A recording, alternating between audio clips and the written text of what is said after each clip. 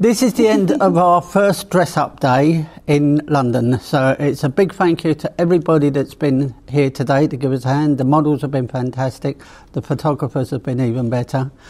Also, like to thank Uthink D- BDP for giving us the venue today to Thank do you, this.